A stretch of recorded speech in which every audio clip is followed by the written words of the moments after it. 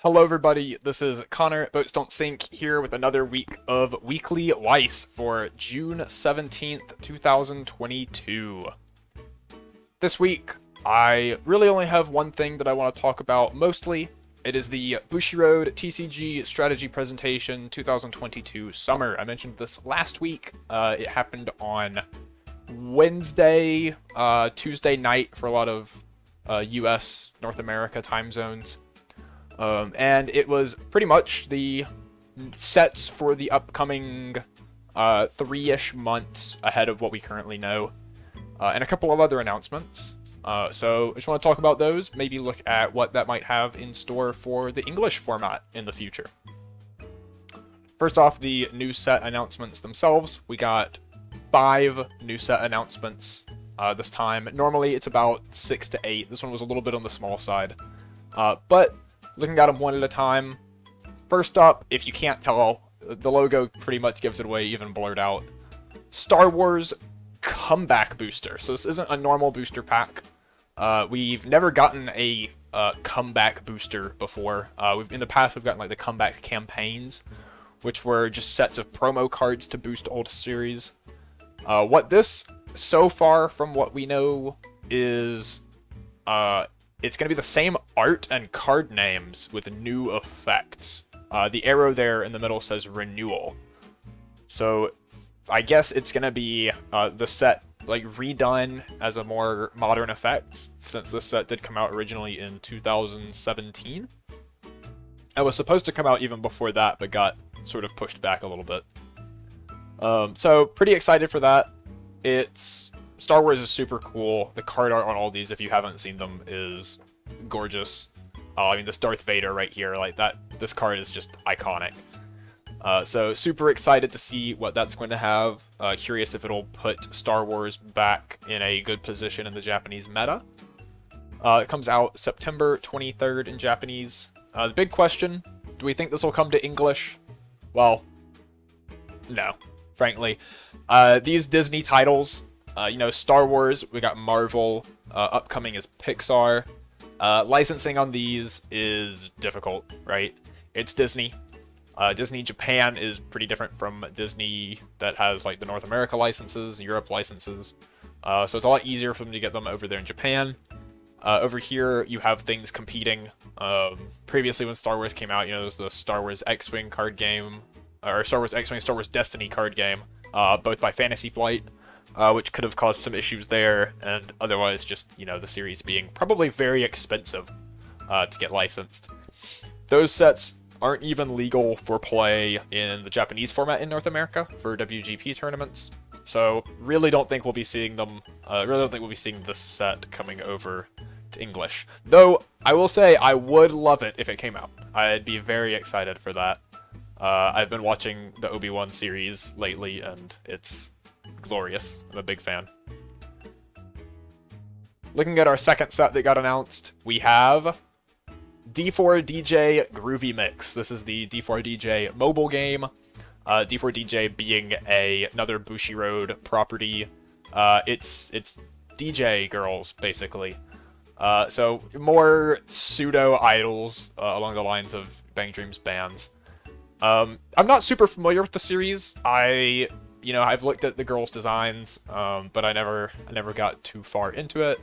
Uh, so, you know, maybe, maybe if this comes to English, we will, uh, I'll have to get into that a little more and learn some more about them.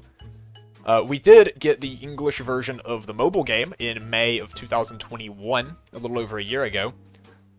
Honestly, I don't know how that's doing, like, sales-wise. I don't know if it's looking pretty strong. I know Bang Dream took off pretty well.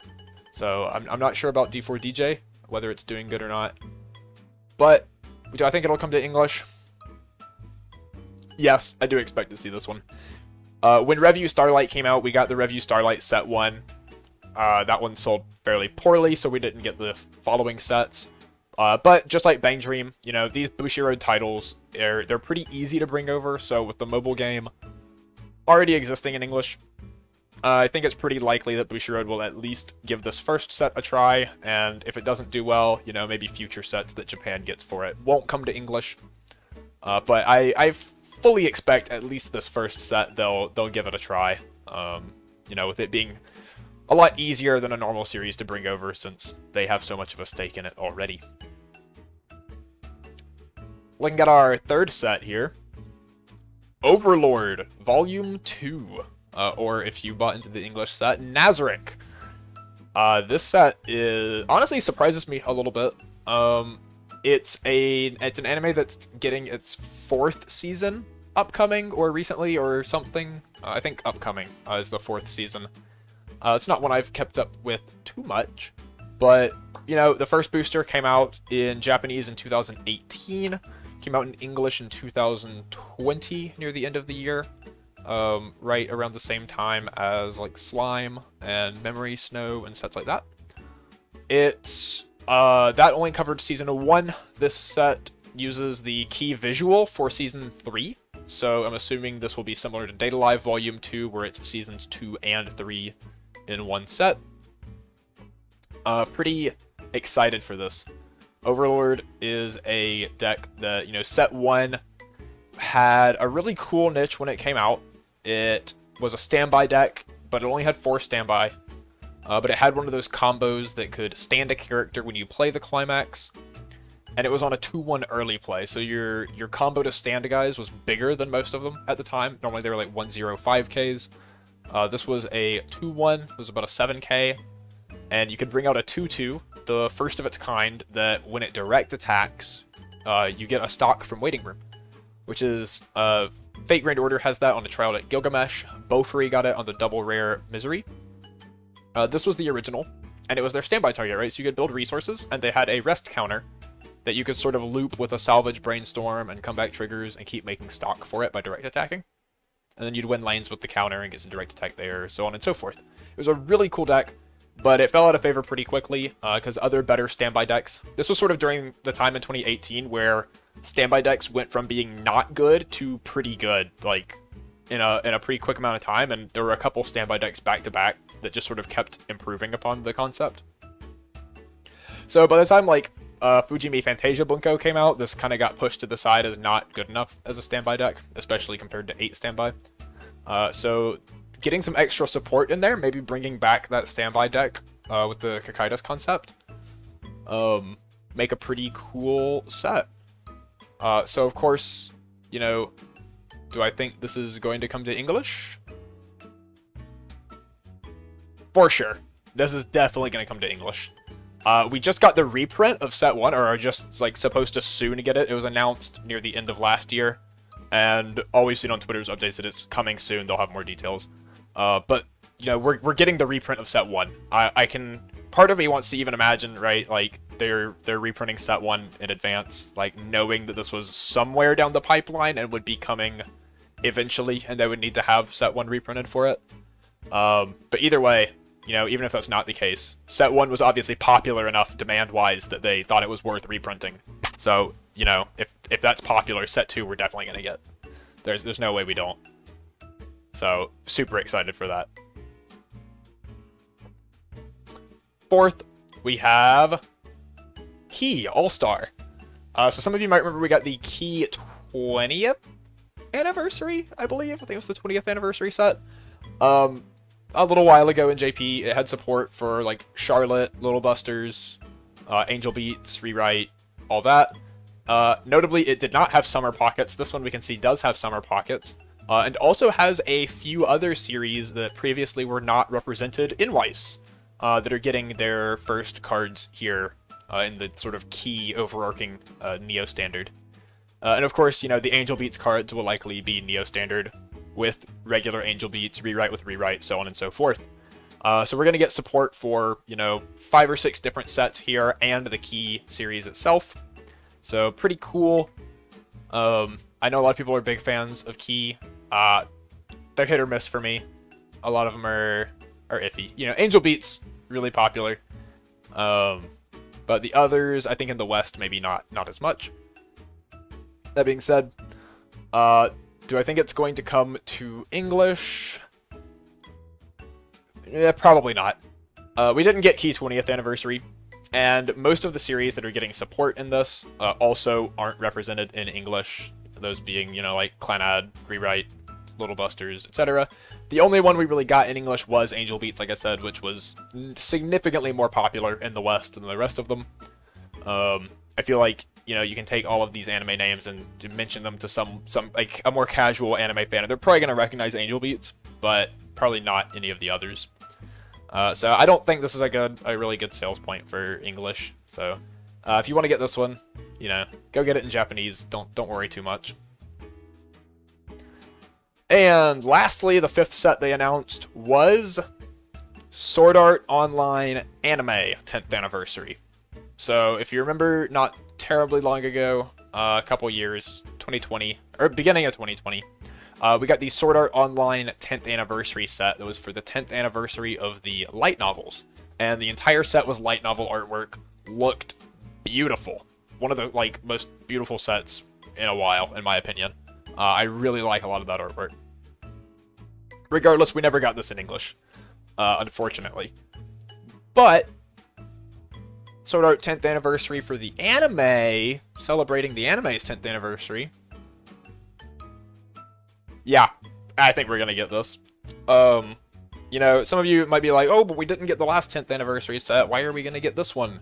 Well, we've gotten everything Sword Art anime in English. Even Alicization Volume 2, which came out after 10th anniversary in Japanese, we got in English. I think very clearly, like, the reason we didn't get 10th anniversary probably had something to do with all of the light novel artwork and that being under a different license that they'd have to get, and there might have been issues there. But we've continually gotten all of the anime sets, uh, even with the Aniplex issues and losing signatures, or supposed Aniplex issues, I should say. Uh, we don't know that 100%. Uh, but all, all the stuff that's lost signatures, Sword Art has been among them. We still got those sets regardless. So I'm I'm fairly confident that we'll be getting this one as well just because you know it, it's the anime licenses. We we know we can get those, and Sword Art is immensely popular in the West. So huge. I'm looking forward to this one a lot. I'm a big fan of the Sword Art deck. Um, so really, really hoping we do get this one, and you know, hoping deep down inside uh, that we're also going to get the light novel 20th anniversary set, maybe right before it. So looking at all of these, five set announcements, some pretty strong stuff overall, uh, especially Star Wars uh, and the Sword Art set, I think. Uh, only one of these being a new title, D4DJ, uh, with the rest of them being support sets, so we'll see how that goes. Um, and, you know, out of those five, three of them I think are pretty likely to come to English, so I think that's a, that's a pretty good hit rate.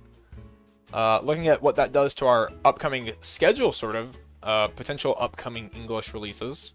Starting with what we know that we have coming up, uh, Danmachi releases July 15th, Tokyo Revengers July 29th, Quintessential Quintuplets 2 on August 12th, and Attack on Titan Final Season August 26th. Followed by Rascal Does Not Dream of a Dreaming Girl on October 14th, Saekano on October 28th, and The Seven Deadly Sins Revival of the Commandments at some unspecified date in the future. Uh, at this point, it's looking probably like December, like they normally do for the English originals. But, you know, apart from Seven Deadly Sins, what are some other sets in Japanese that are, you know, pretty likely to get announced for English uh, in the coming months? Well, there's actually a lot of them. Uh, Bang Dream 5th Anniversary. It's Bang Dream. Uh, it's almost guaranteed we're going to get it. I think this will probably be coming out somewhere around the first week of April to celebrate the fifth anniversary of the English version of the mobile game, just like they did with the premium booster this year. Uh, Saekano sets 2 and 3. Obviously, we're getting set 1. They probably have plans for 2 and 3 coming out. Kaguya-sama Love is War set 2. We got set 1 in English again, despite the signature issues. So I think set 2, pretty likely that we're going to get that as well. Kaguya was one of the better selling sets in English and very popular uh, in the meta. Uh, Quintessential Quintuplets 3. Again, we got set 1 already. It was one of the best-selling English sets of all time, uh, before Hololive, I suppose.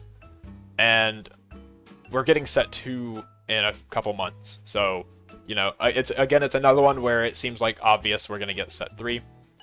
And then the sets that we had announced today, uh, D4DJ, Overlord Volume 2, Sword Art Online 10th anniversary, uh, as well as one that was announced three months ago during that stream, Date A Live Volume 2.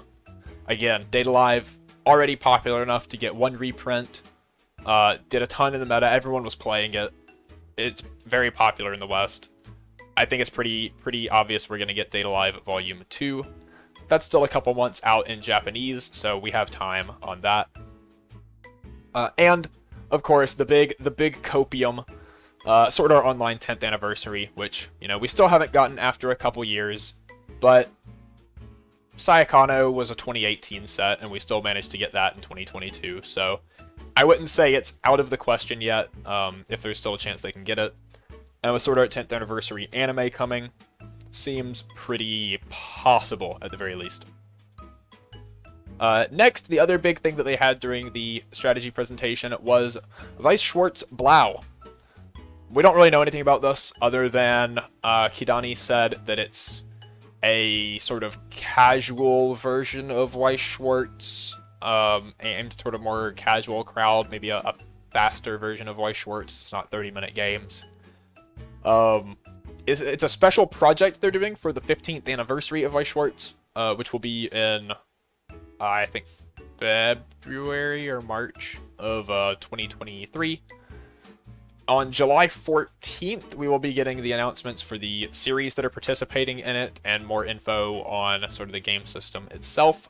So until then, we don't really know a whole lot about it, other than 15th anniversary project, sort of aimed at a more casual audience.